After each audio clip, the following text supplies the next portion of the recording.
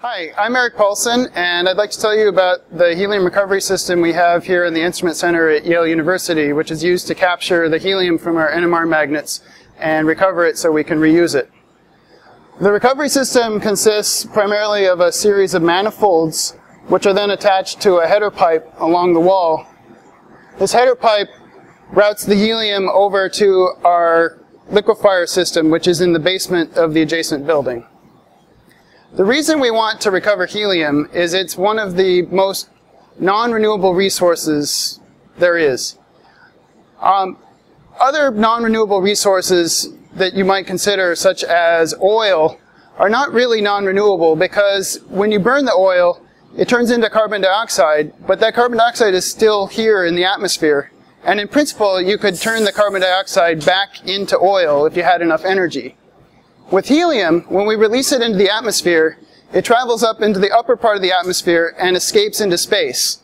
And once it's gone, it's really gone. We can never get it back. The only way we could get back the helium would be to travel to another planet or some other place in the solar system to get the helium. So it's very important that we recapture the helium, not only because it's expensive, but because it's non-renewable. The reason we have to use helium is because we're using superconducting magnets. And superconductivity only occurs at extremely low temperatures. Over here is a cutaway of one of a, of a superconducting magnet. And you can see this part right here is bathed in a bath of liquid helium.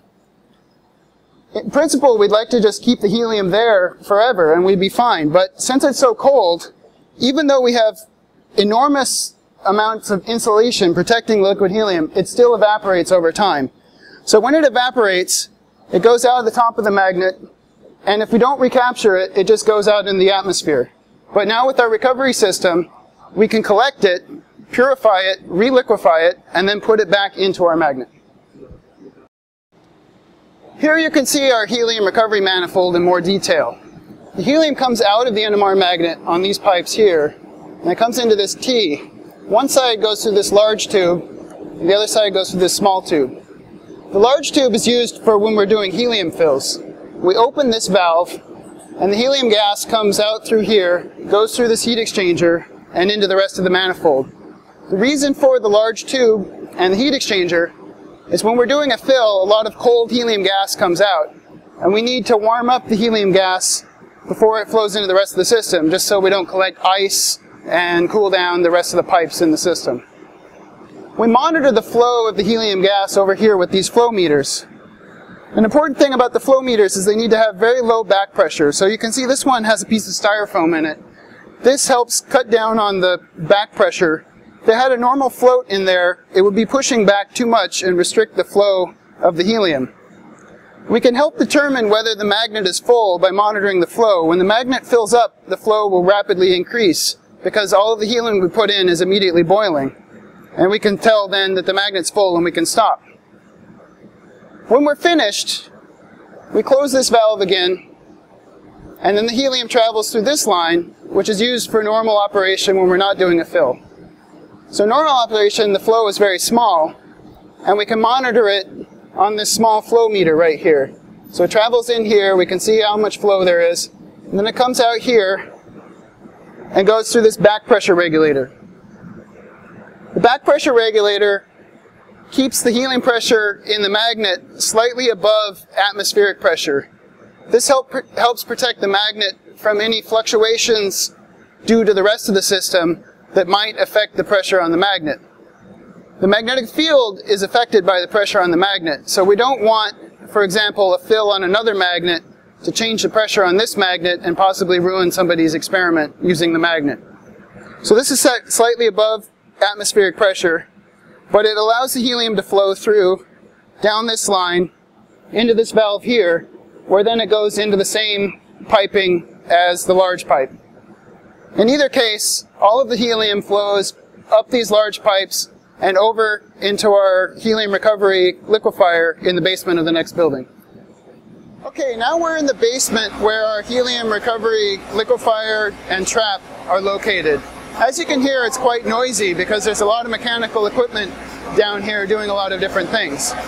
The helium comes in on this large copper pipe right here, And the first place it goes is into the recovery bag, which is this large plastic bag up on the platform.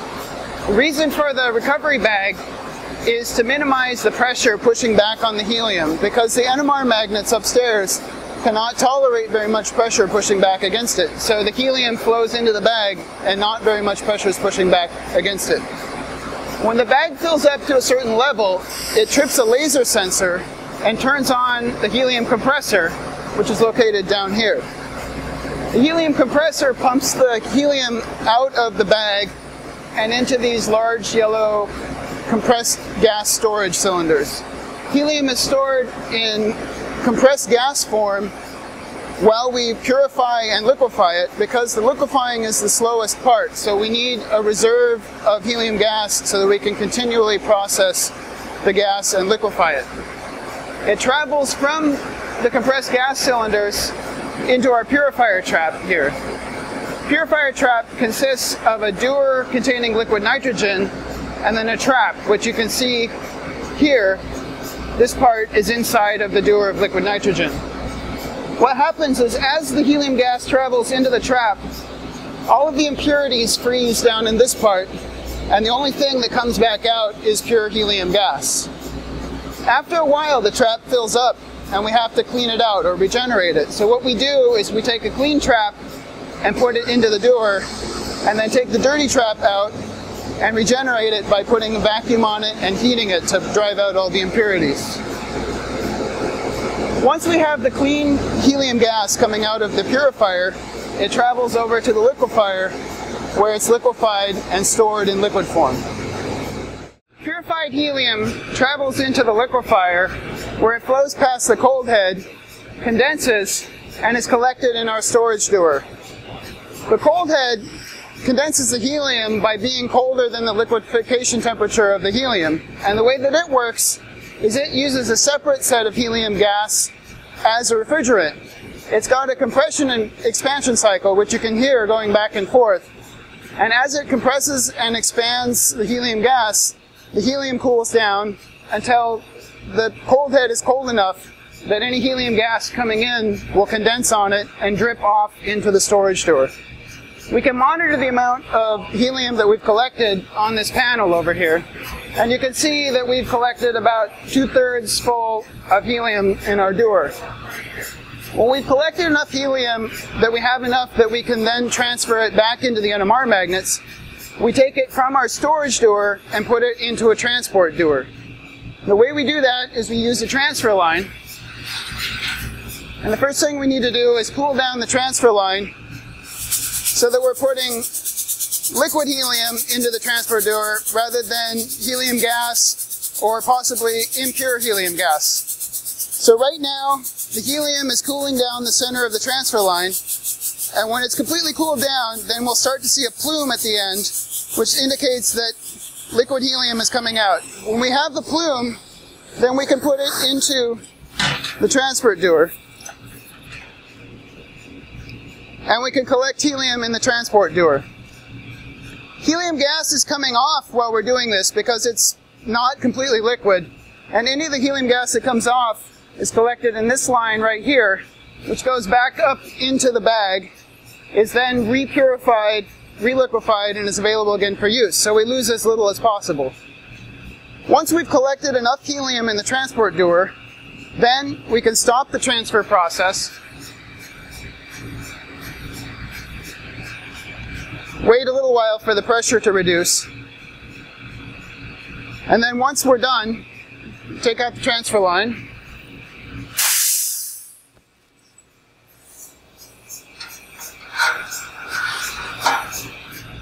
And take our transport dewar full of liquid helium back up to the NMR magnets where we can put it in the magnet. Okay, now we've made our way back to the NMR lab and we can transfer the helium back from the transfer dewar into the magnet. In this case, we're using a larger dewar because we need a larger volume of helium for our larger magnet.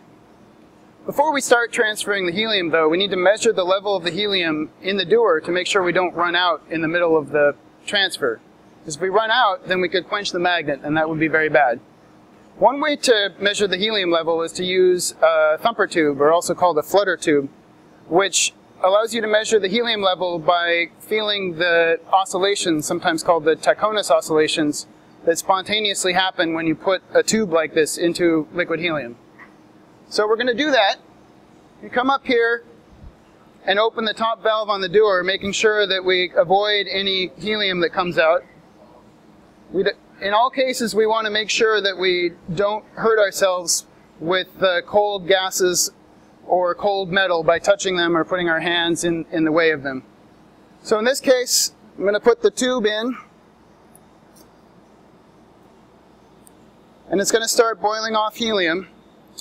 And what I'm going to do is I'm going to put it all the way down until it hits the bottom of the dewar. Put a clip on to make sure that I've measured the bottom level, and then I put my thumb on here and I can feel oscillations that spontaneously happen. When I get to the surface of the helium, the oscillations change frequency, and so there I know that that's the top of the helium. So by measuring this distance here, I can relate it to the level on a chart here and know how much helium is in the, in the dewar. In this case, there's plenty of helium for us to do our transfer. The next thing we need to do is to turn on the helium fill meter so that we build up some extra pressure inside the magnet. Because when we open up the magnet, we want to make sure that there's always positive pressure pushing helium out. We never want to let any air or water get sucked into the magnet, which would happen spontaneously if there's not positive pressure pushing helium out. So in this case, to do that, we just uh, press a few buttons on the, on the fill meter and turn it into fill mode this puts it in a mode where it does a reading every minute. And when it does a helium level reading, it actually turns on a resistor and heats up the helium slightly, which causes it to boil a little bit and makes positive pressure happen in the magnet. Okay, so the next step is to begin the transfer process. Now we're ready to begin the transfer process. Transferring helium into an NMR magnet is best done as a two-person job. And in this case, I'm going to be assisted by Xiaoling Wu, who's a staff member in the CBIC and has done many helium fills. So the first step is to pre-cool the line by inserting it into the, into the dewar.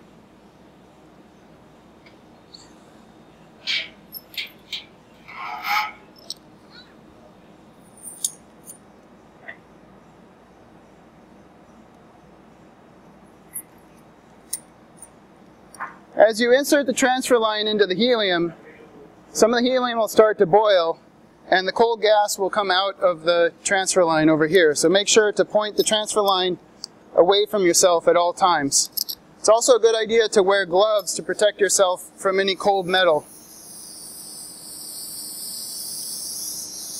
While we're purging the line, we can close the valve that is for the pressure release on the valve and eventually we're going to turn on the pressure building heater here, which will intentionally boil some helium to help push it over and into the magnet. Now I'm going to go up to the top of the magnet.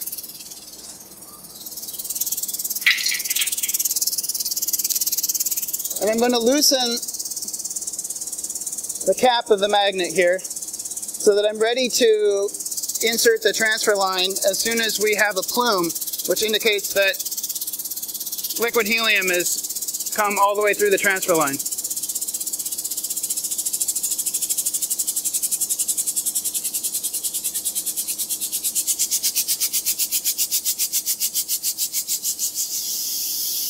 Almost there.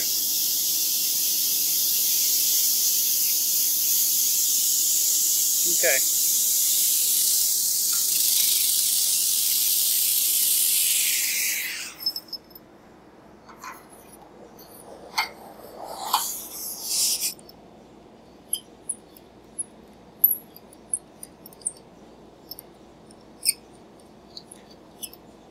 Now we are transferring helium into the magnet.